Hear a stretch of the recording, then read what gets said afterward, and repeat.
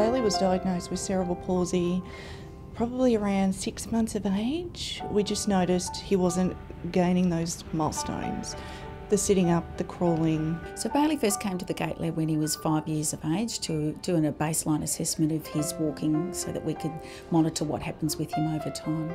The Gait Lab was great. It was all new, it was technology. It was more like eyes from the outside, being able to look inside his body.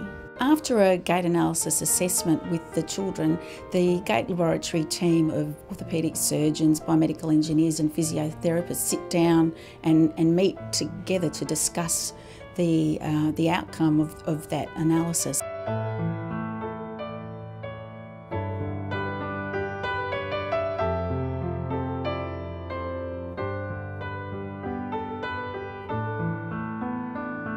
In the gait lab, we're assessing he was starting to really tighten up in the hips and he was getting a bit of a limp and one leg was more dominant than the other.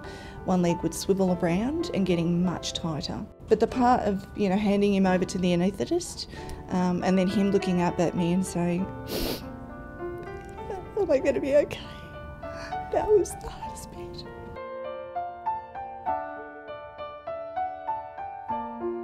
If we never did the multi-level surgery, his hips would be pulling out. His walking pattern would have gotten worse, his independence would have been reduced. Now I've come out the other end and I've seen the outcome, the perfection in his legs, how much better he walks. I've got a basketball ring and my neighbour's got another basketball ring, so we like play matches and stuff. And now it feels much more easier and relaxed and it feels like brighter in the house with everybody.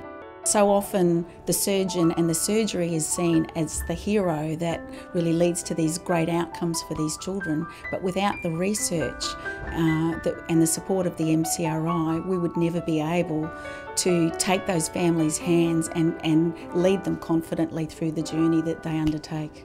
It felt awesome. Like it was a new thing that I could do it felt like, oh, I can't believe I can do this.